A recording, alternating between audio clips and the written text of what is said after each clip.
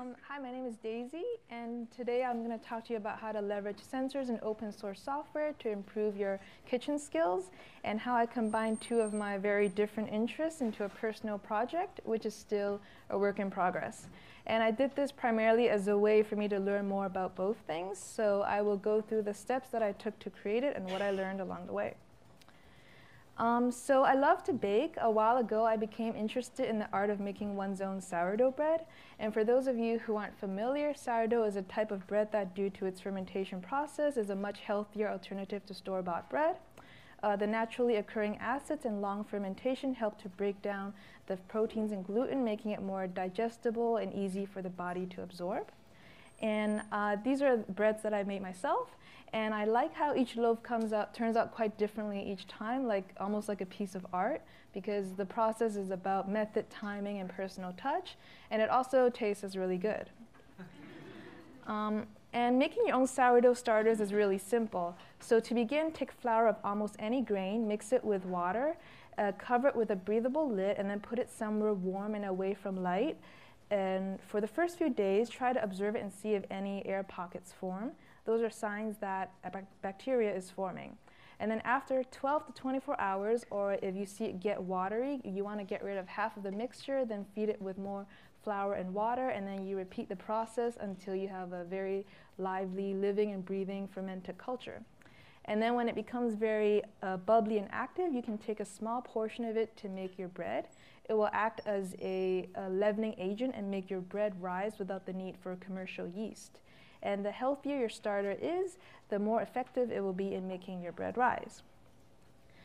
Uh, but working with natural starters can be difficult because they are very sensitive to variations in temperature and humidity. Since it is a living and breathing organism, there is a lot of uh, uncertainty and variations in its growth. It's much like taking care of a pet or a plant. You need to continually nurture and take care of it so that it doesn't die. And I've made many attempts and had to throw out a few batches because it simply contracted too much mold. So parameters such as temperature and humidity need to be closely observed since they can alter the sourdough's behavior. And the key to making good sourdough is to try to manage and control the fermentation process, and this is often achieved through trial and error or weeks and months of experience. Um, and I attended a Go meetup in Berlin a while ago, and that's where I learned about a project called Prometheus. This is an open source systems monitoring tool written in Go that has become very popular. And I liked the community, and I became interested in the project, and I wanted to learn more about it. Uh, its ecosystem comprises of a server, a time series database, query language, alert manager, client libraries, and special exporters.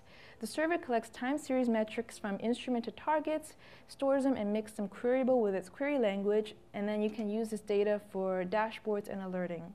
The server was designed to be non-clustered to be kept simple and reliable, so it can monitor large-scale distributed systems, but it's also very efficient on single-node systems, and you can run on things like Raspberry Pis.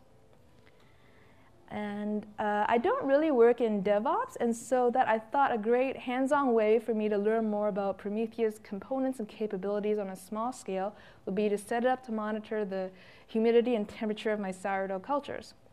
Uh, what kind of insights could I gain from the metrics generated? And what if there's a better way to understand what happens during the sourdough fermentation process? In the next half of this talk, I will go through the process that I took to set up this project, how it works, and what I learned along the way.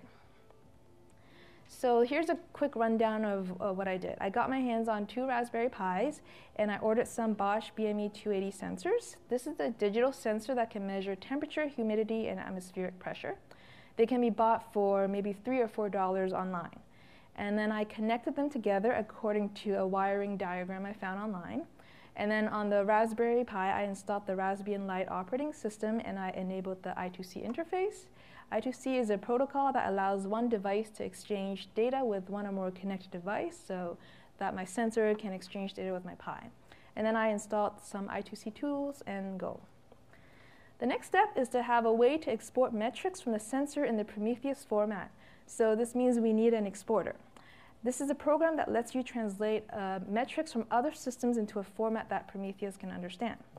Uh, to find such exporters for systems that you want to export metrics from, you can uh, search the mailing list on GitHub, or you can always make your own.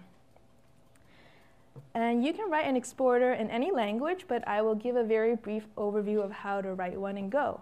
I chose Go because it's a language that's uh, good for systems programming, and I feel like it has a fairly low learning curve. So first you import the Prometheus client library of the language that you're using, and then you want to create a collector type and make the Prometheus client aware of your collector. I'm also using the GoBot framework here so that I could use the I2C driver and get data from the sensor. And in Go, your collectors must implement the Prometheus collector interface. So the collectors must be objects with the describe and collect methods. So the, the describe method returns a description of the metrics that it will produce. In the collect method, you fetch all the data you need from the application instance, and then you format it in the way that you need, and then you send the metrics back to the client library. Uh, the Prometheus client library offers four core metric types, counters, gauges, histograms, and summaries, but I only need to use the gauge for this exporter since I only need a value that can represent a value, something, a value that can either go up or down. And these metrics will then be returned by the scrape of the metrics endpoint. Then you will want to set up an HTTP handler and expose the standard metrics endpoint and start listening for HTTP connections. When I run the exporter and go to the metrics endpoint in the browser, I see something like this. The exposition is in a line-by-line text-based format. With the exporter running, Prometheus can now come over the network and scrape the metrics being exported from the exporter that's running on the Raspberry Pi. And now that I have my Raspberry Pi and sensors configured, I can put everything into place. I decided to separate my cultures into a control group and experiment group, and I put one batch near the heater. I also tried to experiment with humidity by putting some water near the heater. Now we need to configure and start the Prometheus server. A YAML file is used to specify what endpoints to scrape and how frequently to scrape it. So in this case, uh, scrape it every 60 seconds. Once we start the Prometheus server, we can visit its endpoint in the browser and see if everything is running correctly. And now we can create dashboards based on this scraped data and I've opted to use Grafana here. Uh, PromQL is the Prometheus query language. It can help you answer a lot of ad hoc questions about your system in a large-scale production environment. But for this simple use case where I'm using one-dimensional gauges, I can just display the values as they are. Um, but I could also take a look at the deriv function to maybe track its rate of change in the future. Um, so I I may, it's possible I may have over-engineered a solution to this project, so that's why it's still a work in progress and I need time to gather more data.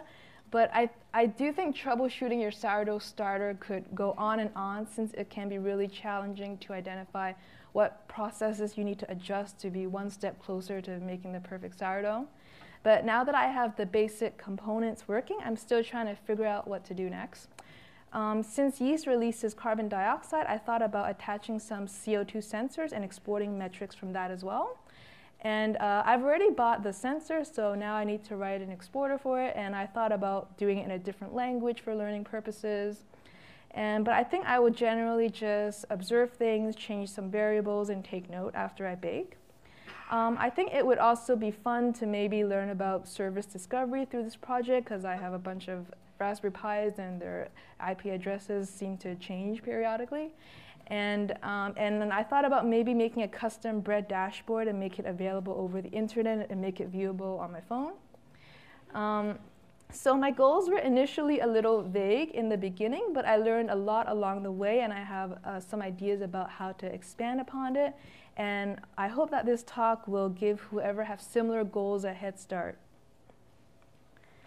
Um, so I ended up writing a blog post about my project for Gopher Academy, and then once it was published, someone on Twitter told me about a really cool project by someone called Justin Lamb, and who monitored the fermentation of his sourdough starters with time-lapse photography, computer vision, and image analysis to get its growth characteristics over time.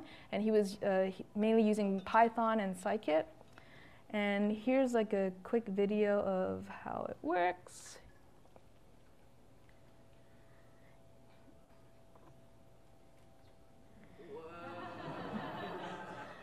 Yeah, and I've gotten in touch with him, and we both think it would be a great idea to collaborate and maybe combine our projects together. And I think it could fit really well um, to see how the dough rises in relation to the changes in temperature and humidity.